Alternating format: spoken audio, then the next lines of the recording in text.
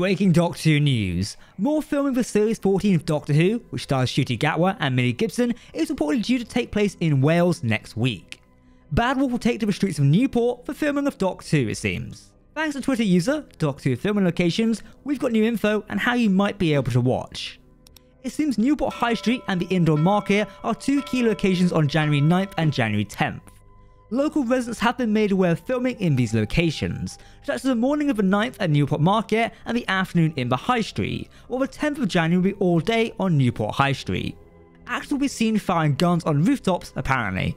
It's unknown if fans will be able to see filming taking place, but given the public location of a high street, you can't keep this under wraps. More info when we have it, we'll keep you in the loop.